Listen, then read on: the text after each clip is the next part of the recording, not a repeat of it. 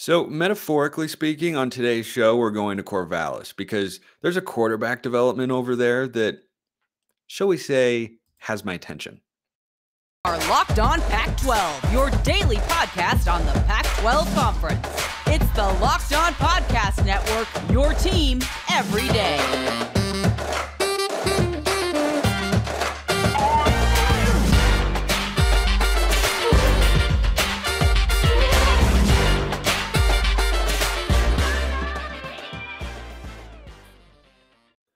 Welcome, everybody, to another episode of Locked On Pac 12. I'm your host, Spencer McLaughlin. Thank you so much for making this your first listen or your first view of the day, part of the Locked On Podcast Network, your team every day, and your number one source to stay up to date with our media rights free and beloved Conference of Champions. If you haven't already, like, comment, subscribe, please, and thank you wherever you listen to or watch the show. We're trying to get to 3,000 by the time the season starts we are on the way. Continue to hit subscribe so you can know when we got new shows. And we've got my man Carter Bahns here. He writes for 24 7 Sports. He's a part of Beaver Blitz. He is our Oregon State guy here at Locked On Pac 12. And Carter, I got to tell you, I am all aboard. Choo choo. Metaphorically, of course, the uh, Aidan Chiles hype train. That is until my alter ego comes out on a later podcast episode. But I I I watched Aidan Chiles play in that spring game, and my reaction was I haven't seen an Oregon State quarterback look like that in.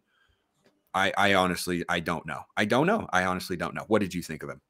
Yeah, he had probably the two top highlight plays of the day, right? When you think about, uh, he had that play where he rolled out to the right, escaped the pocket, um, you know, got away from a couple of potential would-be sackers, uh, and then threw to a diving receiver on the run, and then another one where he kind of rolls out, takes a couple steps back, uh, and then fires like a 30, 35 yard bomb to the back, of the end zone to Silas Bolden for a touchdown. So I, I think the two most impressive plays of the spring game went to the 17 year old quarterback who frankly is is taking this competition by storm i, I mean we're going to get super in depth with all of these guys but you know I, I don't think off the top i would say aidan chiles is a favorite to be your starter at oregon state this fall but like we have to have this conversation now because he has fully entered himself into that mix with a really really impressive spring.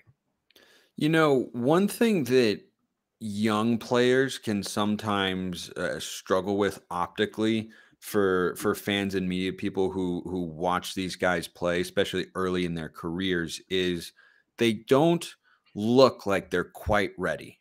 You know they're out there and they've got a jitteriness to them or they don't have the size they don't quite have the speed they need to put on some pounds they need to you know just get comfortable at the college level. I was so impressed with chiles because he went right out there and made made some mistakes for sure and i'll have you break down his performance in, in detail here in a moment but overall carter i was so impressed because he made some spectacular plays but he just looked like he belonged out there. Like you you watched him play quarterback and thought, yeah, that's a power 5 quarterback right there. Size, mobility, twitchiness, fluidity, arm talent. I think he has the tools to do everything you want in in that Oregon State offense or a lot of offenses frankly. He looks comfortable, there's no doubt. I mean, you know, it, you, you don't see the the happy feet, the jitteriness, like you said, with him that you do with a lot of freshman quarterbacks. And um, you know, I, I, think that goes a long way in somebody's ability to play very early in their career because obviously he still has to learn the playbook and whatnot. But if the speed of the game isn't bothering you right away, that's a really good sign for your ability to do that, to pick up the playbook and to implement it on the field. Physically, I do think Chiles could benefit from putting on some pounds, and I'm sure he will do that this summer. I mean, mind you, again, like I said, this is a 17 year old basically, you know, still a high school senior who enrolled early, just got here in time for spring camp. Um, so hasn't really had a whole lot of time to work with Oregon State's training staff. I'm sure as he does that throughout the summer, he's going to put on a few pounds, add some good weight, uh, bulk up a little bit. And I think that's necessary if he is going to sustain hits this fall if he plays. You know, he's he's a dual threat guy. He's I mean a, a pass first player, but um, he has some wheels. He's not afraid uh, to carry the ball. You know, Oregon State will run some read option with him, some RPOs, I'm sure. Um, but I would like to see him add a little bit of weight before he takes the field this season. Um, but the height, the arm talent, the you know the the strength as far as putting the ball downfield, um, he has all of that. I mean, he's all of six four. Um, looks the part uh, again, like you said, just in in, in the confidence uh, and and the physicality aspects, which is huge for a true freshman.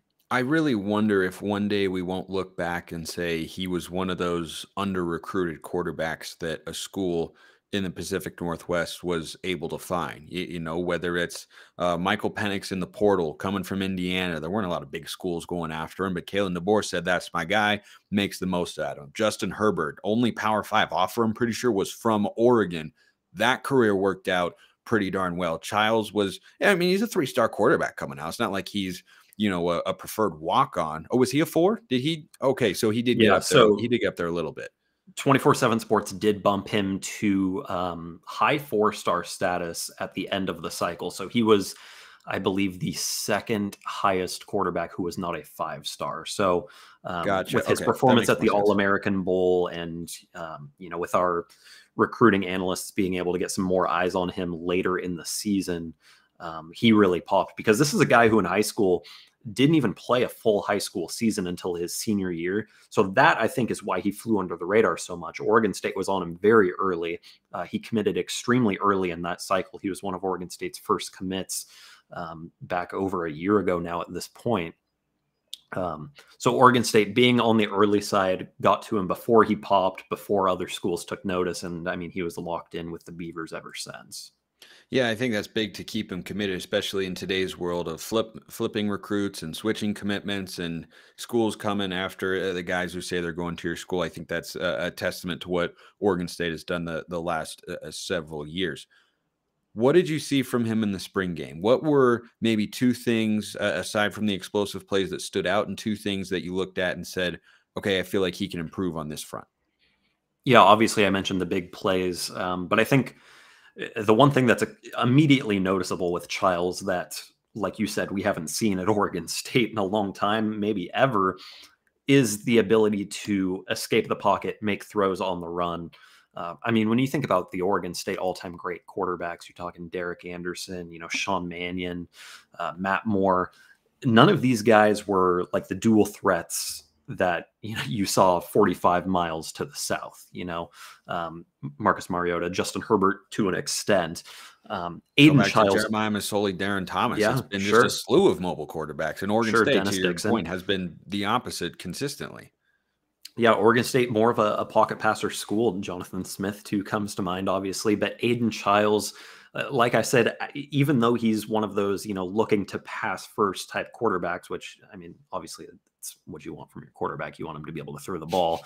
Um, uh, but I guess the point is he's not going to rely on his legs. You know, he he has immense amounts of arm talent. He just also happens to be really mobile around the pocket and can get into the open field and make guys miss once he's out there. So I think too often at Oregon State over the last, you know, 20 years of, of Oregon State's relevance in football, um, you know, you see really talented quarterbacks, but you see them go down the second they're even, you know, uh, uh, the second a linebacker breathes on them. Aidan Chiles is is the complete opposite. He'll make those guys miss and make plays on the run. So I think that stood out to me in, in, in the spring game. I think you saw that quite a bit. But on the flip side, as with any true freshman, as with any newcomer in any system, um, a, a, few head scratching throws. You know, there was one where he made a really nice throw and then on the very next play overthrew a receiver in the end zone by about seven yards. So, you know, it's you you, you get a little bit of both. It's it's going to be 50-50 for a while until he gets really comfort uh, really comfortable and and confident in the system, but I mean, again, you you see the raw talent there, so you imagine that's going to come before long.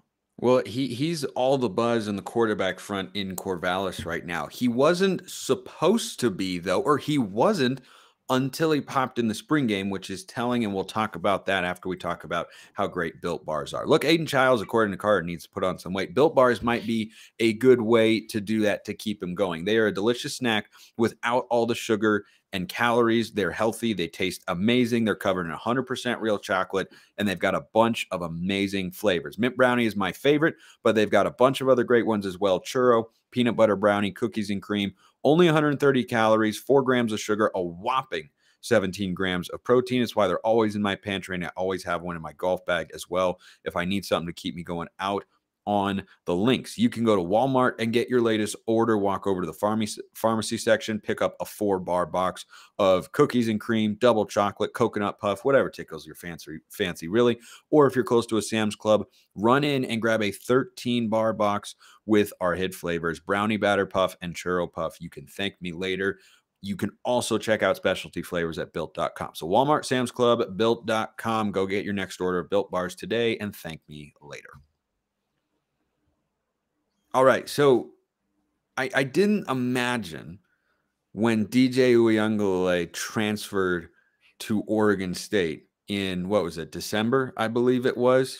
Right before Christmas. When that got announced, what if you had tried to, you know, right now, gone in a time machine back to that day and said, hey, he's not going to be the most talked about quarterback after the spring game. I would have looked at you like you were cross eyed and just been hit upside the head and were dazed and confused and whatnot.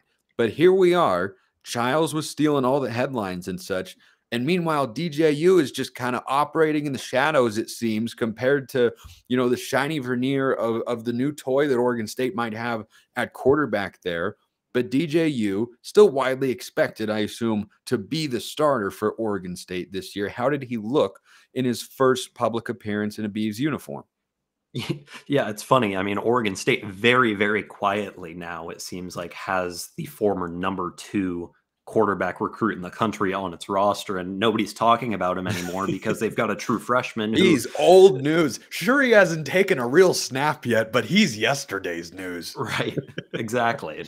um, which I think is, I, I mean, obviously, it's going to happen in spring camp. It's it's all about you know finding those those young guys who who pop and whatnot look, I I don't think it's any knock against DJ that we're not talking about him a whole lot. I, I think he's he's just a solid quarterback who's going to fit in that system really well.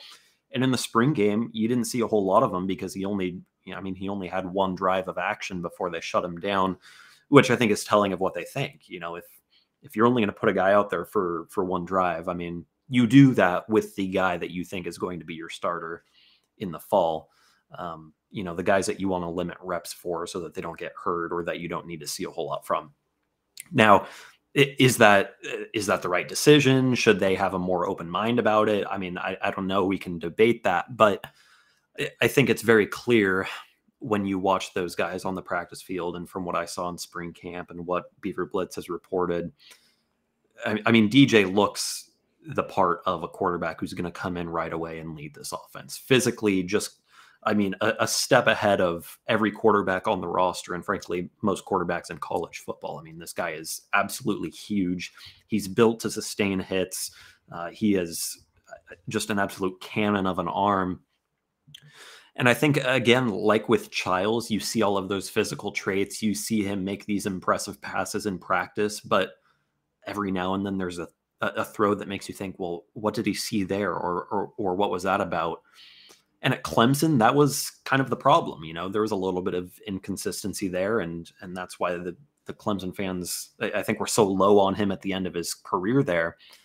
Um, but I chalk that up more at Oregon State to just, I mean, this is a guy who only has a month of practice in the system. Um, and it's a system that I think is is more tailored to his skills, and that's exactly. I mean, he said as much. He said that's why he came to Oregon State. He looked at that scheme, did a bunch of research on it, watched a bunch of film, and said that's a system I can go thrive in. They're going to call plays that suit me, unlike Clemson did. Um, so I think that's the exciting part about what DJ brings this fall that we probably haven't quite seen yet. Is, is there any chance at all that Aidan Chiles pushes DJU, you think, in 2023 for the starting quarterback job? I'd I'd hesitate to say yes on that. Okay. Um, just because, and I'll put it this way Ben Gulbranson's still in the quarterback room. And as long as he's there, Jonathan Smith and Brian Lindgren are going to give him a little bit of a benefit just because of what he did last year and the fact that in today's day and age, if you have a veteran guy who has playing experience and who has won games and you are giving him uh, effectively, you know, fewer reps than a true freshman in, in fall camp, he's probably going to be in the transfer portal in the matter of a few weeks or months. So, you know, I think to an extent that was what you saw in in the spring. You'll probably continue to see that in fall camp, and I'm, I'm curious. You know, by the end of fall camp, does Aidan Chiles maybe take more second team reps? I don't know. Um, but Aidan Chiles was pretty strictly a third team quarterback in the spring, and I, I, I wouldn't be shocked to see that continue into the fall. And you know that's okay because I, I think it would take a, a, very very I think it would take a spectacular next few months from Aidan Chiles to uproot DJ from this job. Um, and that's kind of what we expected, right? Like when when these guys came in, we expected DJ to be the starter for a year, you know, potentially go pro after that, and then you hand the keys to Chiles after a year of development. And so at the very least, that's probably still what you're getting.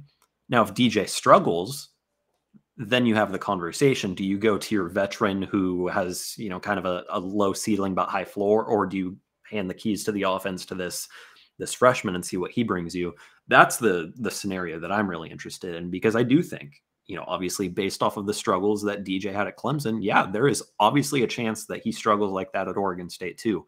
What do the Beavers do then?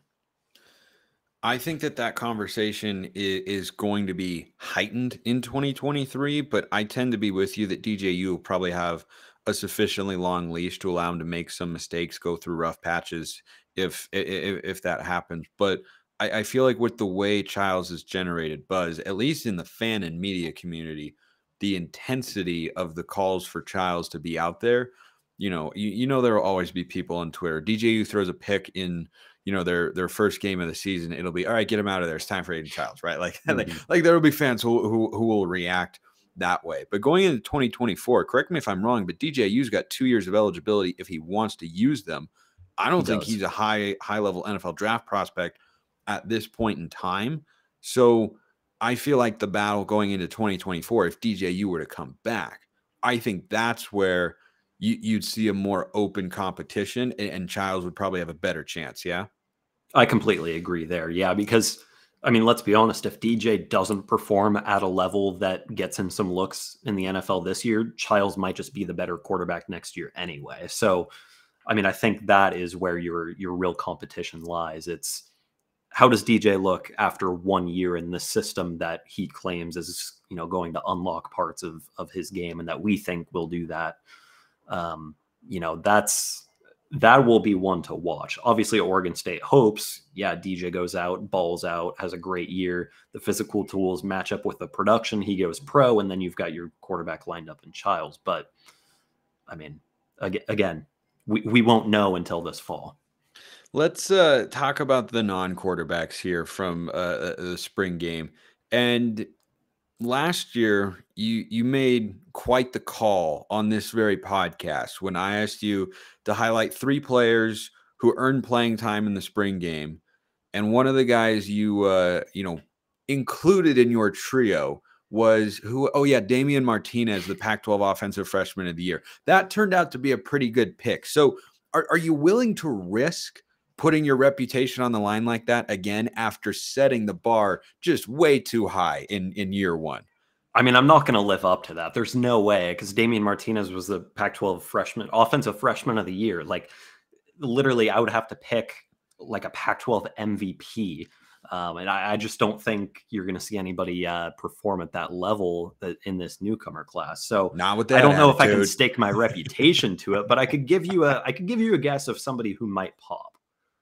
All right. Let, well, let's let, let's go through it here. Three guys. that can be offense, defense, or some mixture of uh, uh of the two sides of the ball. Heck, it could be a special team or teams guy if if if you want it to be. Whatever floats your boat there, Carter. Three guys that you saw in that spring game that you think will play more in the fall because of how they played in the spring game. I mean, I'm going to have to use all of spring camp here as as yeah. I think that's the, that's probably the best way to do it Yeah, it, just because there are so many guys held out from the spring game and some of the starters only got a few reps. But the first one here, I'll start with offensive side. I, I'm going to give one from the offense, two from the defense. The offensive guy is wide receiver Zachary Card, who is basically the second coming of Anthony Gould, I think. Anthony Gould, mind you, an All American punt returner last year who also happens to be a very good wide receiver. I think Gould will be Oregon State's leading receiver this year, maybe Silas Bolden. Um, but I think Zachary Card is he's as good of an athlete and maybe already as good of a pass catcher. Um, and that's pretty impressive from a true freshman. Uh, comes from a, a, group of true freshman wide receivers. There's three or four of them who I think could contribute right away. Um, but Card's the leader there. He's he's the only one who was healthy in spring camp, and um, he looked he looked really really good. He was one of the quarterback's top targets. On the defensive side, I'll go to the defensive backfield with Tyrese Ivy, who's a a, a junior college transfer who came in right before camp, um, and you know his role is frankly very important on a team that lost a ton of contributors from a group that was really, really good last year. I mean, Rejzohn Wright, Alex Austin are gone, Jaden Grant's gone. Um, and so they're they have to replace a lot at corner and at nickel. And I think Tyrese Ivy um, really took advantage of that in the spring. Um, this is a guy who who probably could slash will start uh, at corner day one, much like Ryan Cooper did last year as a junior college transfer himself, ended up leading the team in interceptions. So um, Tyrese Ivy, I think, kind of fits in that same mold there. And with Skylar Thomas, uh, who was a projected starting quarterback, um, tearing his ACL in, in spring camp, Ivy's role is is even more important. Um, and then I'll round it out on the defensive line with some combination of Kelze Howard and Thomas Collins.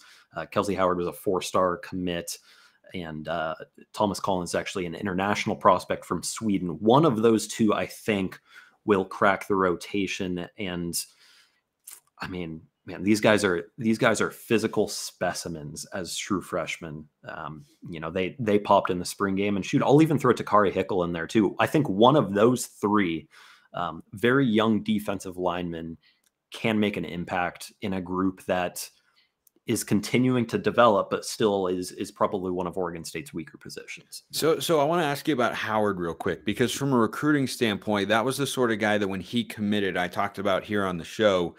You, know, not just the the upside that that he presents, but it was kind of like, whoa, or, Oregon State's getting that guy like out of, out of the Las Vegas area, right? And he's a four star recruit. and he's on the defensive line, like. Since, since when does Oregon State get those kind of guys? Like it, it was, it was a bit of a head turner in in that sense what are the early reports uh, saying on him and how he might fit into the defense? Yeah, I mean the physicality is there. The, the guy is huge, uh, plays with a, a, ton of confidence, um, and, and got quite a bit of run in the spring. Um, again, somebody who I think is is probably on the two deep as a true freshman. Um, and, and again, the same goes for Thomas Collins, same goes for Takari Hickle, who spent a year in the system to develop. But I mean, Kelze Howard, like you said, kind of set this new standard for Oregon State recruiting. He and Aidan Chiles um, were kind of those breakthrough commits for Jonathan Smith. Um, and if you could get, you know, one of Kelze Howard and Aidan Chiles on the field as true freshmen, that's, I mean, that's a major win. But um, I, I see Howard being one of Oregon State's top defensive players within probably a year or two. I mean, he has that kind of potential, and um, he already performed, you know, pretty well uh, in in his first spring camp. Alrighty. Well, Carter Bahns writes for 24 7 Sports on the national desk. He does some coverage for Beaver Blitz as well. He's our Oregon State guy. Carter, great to have you back on the show. Thanks so much. Thanks, Spencer. Appreciate everyone listening. Have a great weekend. And until next time, have a wonderful rest of your day.